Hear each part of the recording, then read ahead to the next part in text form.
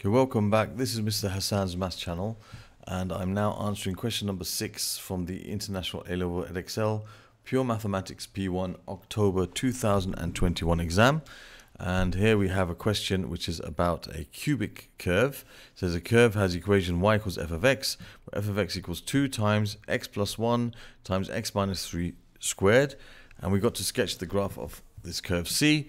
And we can see it's cubic because if you expand all of these, you end up with an x cubed as the highest power.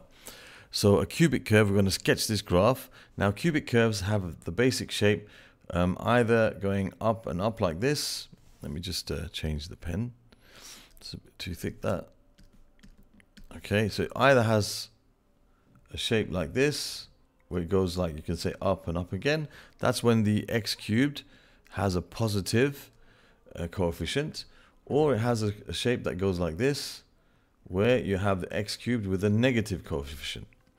Okay and of course we can see if we expanded this the x cubed will be a positive um, coefficient. So we know it's going to have this type of shape.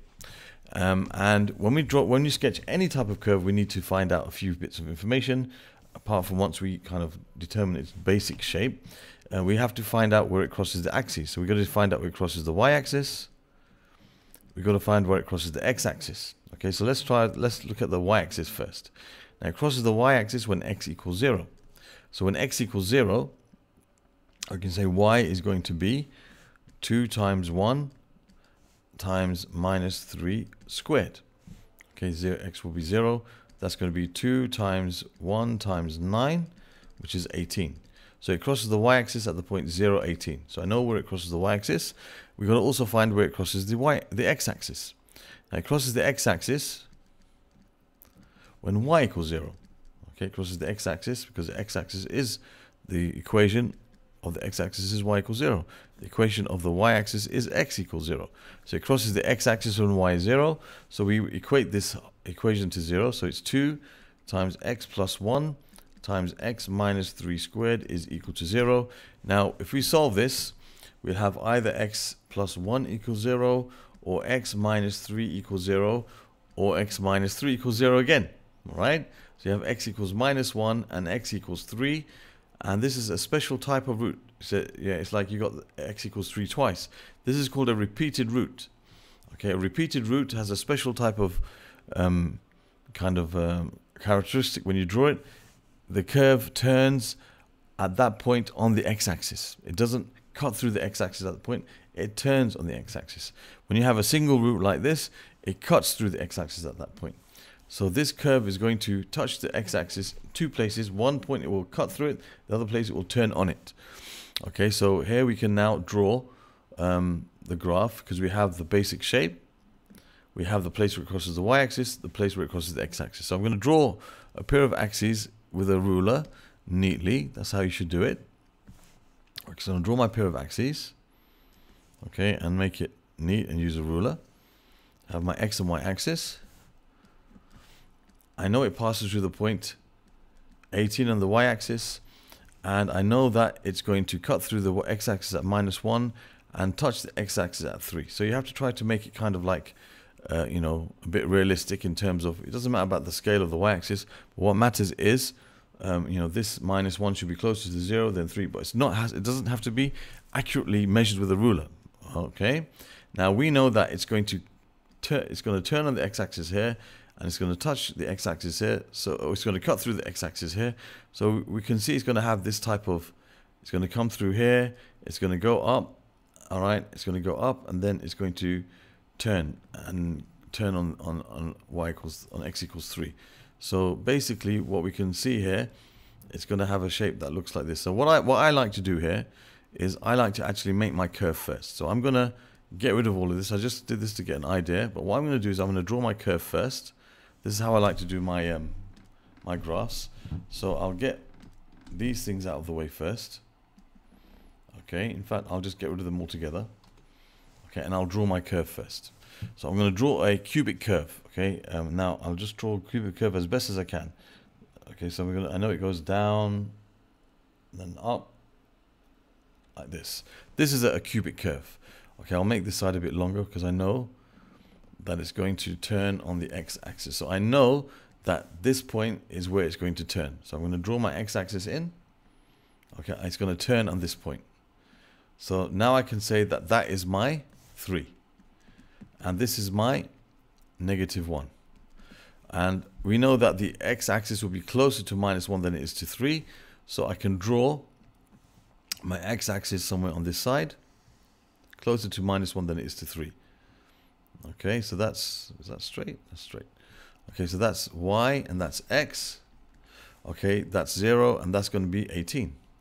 So the best way to draw a cubic curve, instead of having all those points and trying to fit your graph through them and then you, you know sometimes you mess up, mess up with your shape of the graph, draw a graph which is like as perfect as it can be with your free hand without worrying about what it has to pass through. Draw the right shape, we know it's up and up, and then you fit in your values around it. So you know it turns on the x-axis at 3 and it cuts through the x-axis at minus 1 so you can draw your x-axis so that it touches this point here and then you can draw your y-axis such that it's closer to this side than that side because of course the origin will be closer to minus 1 than it is to 3 and you've got your perfect well not perfect but you know quite a, a good graph okay? Make sure it doesn't go back or double back on itself that it goes up. So just you know try and make it as neat as you can. And there you have it.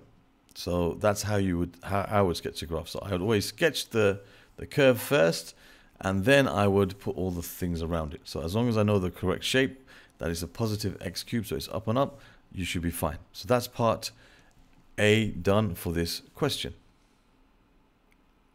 Okay, now for part B, it says write f of x in the form ax cubed plus bx squared plus cx plus d, where a, b, c, and d are constants to be found. So now we're going to take this and we are going to expand it.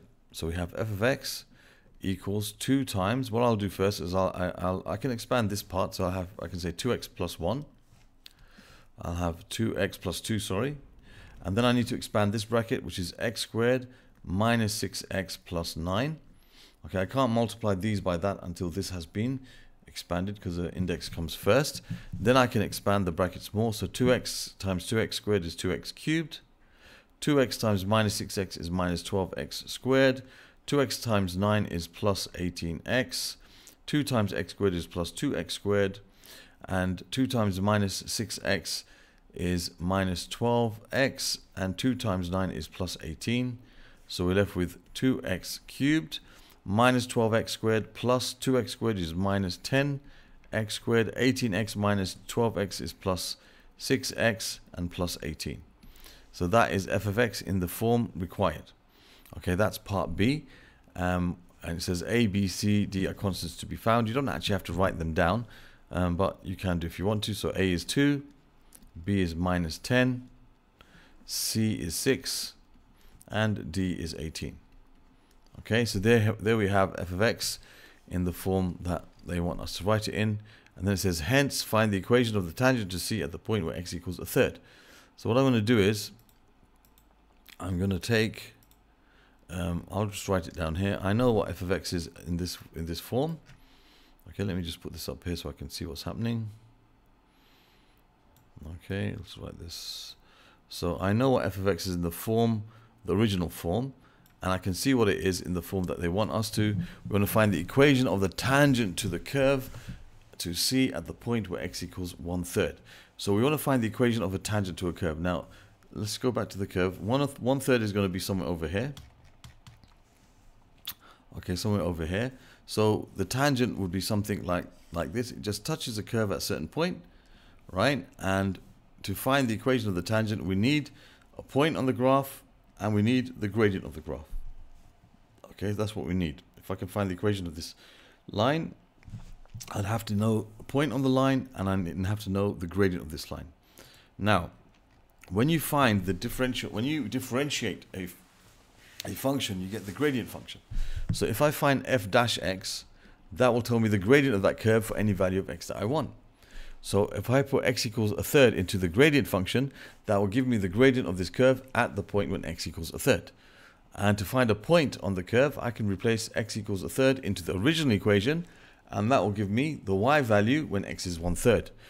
When I've got those two things, I can find the equation of the tangent. So let's first find the gradient of the tangent by finding the differential of this. This is going to be 6x squared minus 20x plus 6. And if I substitute into there the value of 1 third, I'm going to get 6 times 1 over 3 squared minus 20 times 1 over 3 plus 6, which is 6 over 9 minus 20 over 3 plus 6. We can just stick that in our calculator if we want to. So you have 6 over 9 minus 20 over 3 and plus 6. That gives us 0. Okay, so we can see that the gradient, so in fact, we go back to our sketch, all right, we'll see that that's where at one third, in fact, it's, it's going to be horizontal. So it's going to be at the place where it turns. The place where it turns. Okay, that's going to be when x equals one third. Okay, the gradient is going to have, the tangent is going to be horizontal. So it's going to be y equals whatever that value of y is when x equals a third. That will be the equation of this of this curve. So that we know that the gradient of the tangent is equal to zero when x equals a third. Okay, so that, that means therefore the equation is going to be uh, y equals whatever x is when um, whatever it's going to be y y sorry what y is whatever f of x is when x equals zero. So we can say that f one third is going to be, if we take the original equation, let's put it back into this because this is probably easier to deal with. So you have a third plus 1 and a third minus 3 squared. That will be the value of y when x equals 1 third. So when x equals 1 third, that will be the y value. That's 2 times, that's 4 over 3. And you have a third minus 3, which is going to be, um, that's minus, that's 9 over 3. So it's a minus 8 over 3 squared. Let's just put that in, in our calculator. So we'll end up with 2 times, sorry, 2 times, we're going to have 4 over 3. And you're going to have times, that's going to be 1 third minus 3, as I said, which is it's 1 third minus 9 over 3, which is minus 8 over 3 squared. So we don't need the minus because we know it's going to become positive. 8 over 3, all of that squared. And that gives us 512 over 27. So y equals 512 over 27. We can leave it in that form. So we, we know that y equals mx plus c. If the gradient is 0, so therefore y is going to be 512 over 27. That will be the equation of, the, of that line because y, it is a line which is horizontal. 512 over 27. That will be the equation of that line. Okay, y equals mx plus c, m is 0. The y-intercept is 512 over 27. So that is the equation of that horizontal line.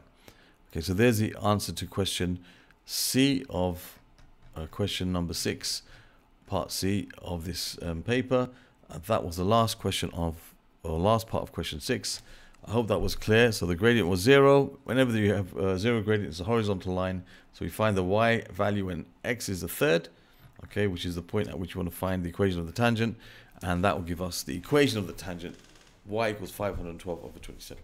Okay, so um, other questions from this particular paper can be found in the playlist that should appear in this area.